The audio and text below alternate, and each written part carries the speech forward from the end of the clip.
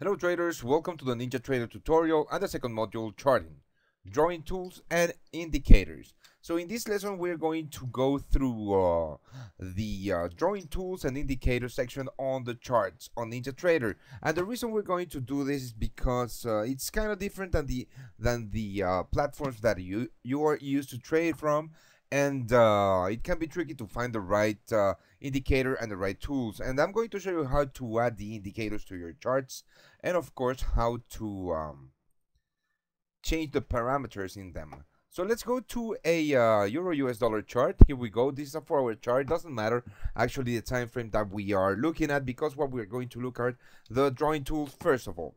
Now you can see that right here we have a, a pencil and when you click on the pencil you have all the drawing tools.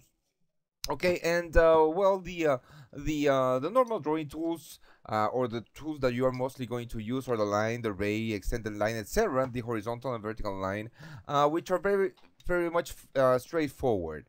Okay and of course you have all the other drawings that you can use such as the ellipse the rectangle the triangle etc and the the one drawing tool that I do want to uh, show you how to use the ruler because the ruler on Ninja Trader is kind of different from uh, the MT4 platform for example. And uh, what you do is you click here and let's say that you want to uh, uh, measure the uh, move from this high at, at this exact um, candle to this low okay? So you click first of all you click on the ruler then you click once at the high of the candle and then you click a second time at the low of the move right here and then uh, you have uh, exactly uh, the number of bars that uh, it took price to go from that high to that low and uh, the number of day of course and the number of pips.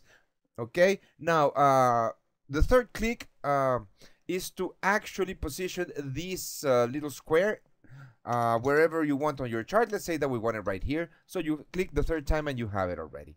Now, uh, you can see that we have minus 9, uh, minus, uh, 0, 0, 9, 16,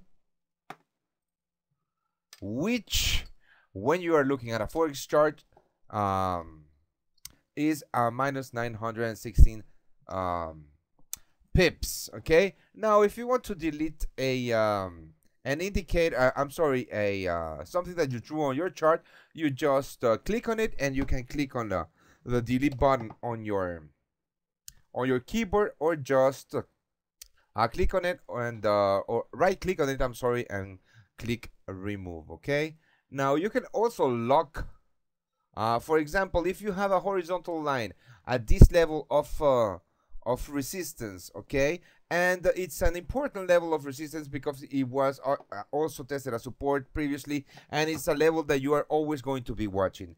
Uh, and sometimes when you are working on your chart uh, you can by mistake just move the uh, the uh, the horizontal line around okay? Now um, what you do is that you right click on the um, on the line and you click on lock. This will lock the um, the um, the line, the horizontal line that you drew, and if you want to move it, you can see that you cannot move it. All right. Now, um, let's go and um, let's delete this uh, this this um, horizontal line, and let's go through the indicator section of this lesson. Okay. Now, uh, the indicators um, are prompted when you click on this button right here. Uh, the green uh, the green square with uh, the two chart like or the the two uh, red and green chart likes inside of it. Uh, you click on it and the indicator menu will be prompted to you and uh, as you can see right here you can you will have all the indicators that you have on your ninja trader platform now, let's say that you are looking for a, a normal stochastic oscillator.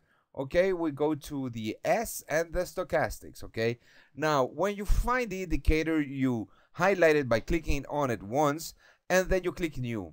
The indicator will be prompted onto your Euro US dollar chart. And uh, right here you have all the parameters and the data so you can change uh, whatever you like on the indicator. And, and let's, for example, say that you like a fast stochastic, you're going to use a 9.3, okay? And right here, you can change the upper and lower lines, uh, colors, uh, the, the style, and of course the value.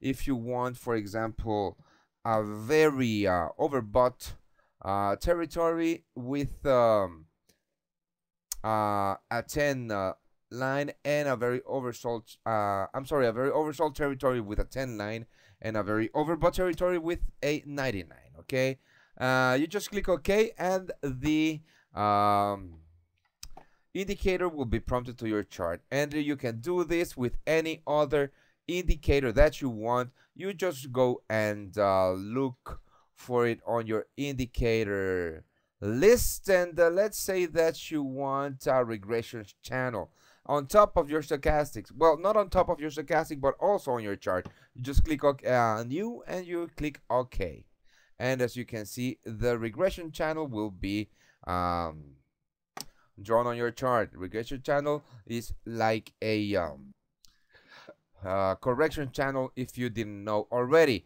And if you want to get rid of an indicator you just click on the indicator uh, once and click on the delete button on your um, keyboard. And this is basically where you will find the drawing tools and of course uh, the indicators on the uh, NinjaTrader platform